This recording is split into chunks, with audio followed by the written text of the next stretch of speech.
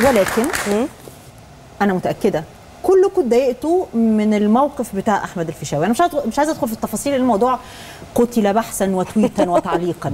بس أنتوا كلكم اتضايقتوا. إمتى حسيتوا انه إنه لا لازم نتخطى الموضوع ده؟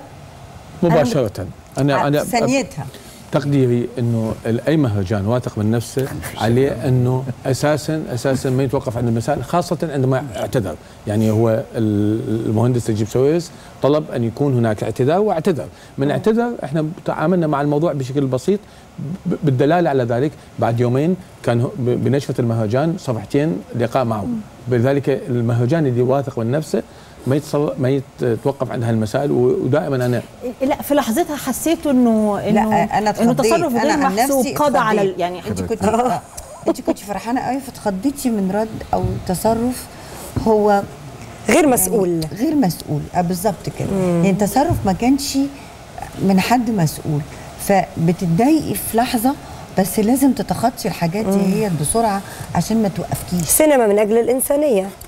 فكان ينبغي ان إحنا اتخضينا من الموقف جدا ساعتها لأن كان كله مبسوط قوي قوي قوي حصل الموقف ده. اتخضيت خض يعني كله. أنا نفسي كله. حصل له في الإفتتاح كمان. انت زي ما يبقى جايبه فستان جديد.